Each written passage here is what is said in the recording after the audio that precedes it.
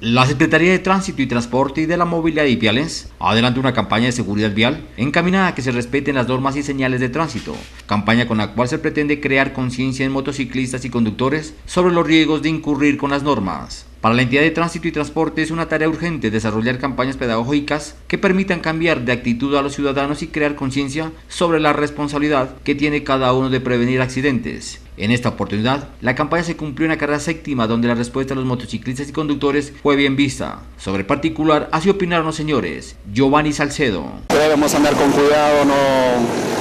O sea, andar con precautela, con el casco, con chaleco, estar todo con precaución, estar todo al día con los documentos, como es el seguro, la revisión tecnomecánica, estar todo al día. Sergio Solís. Muy buenas las campañas para que todos los, los conductores tengamos cuidado y prevenir todo accidente de tránsito. Bueno, ¿Qué es lo que aprendió?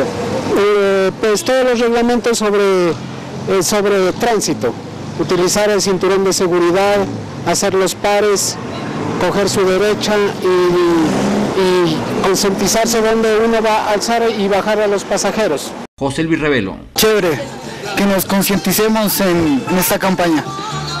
Ante todo, seguridad vial. Tenemos que tener seguridad vial para que no haya accidentes y así curarnos todos en salud.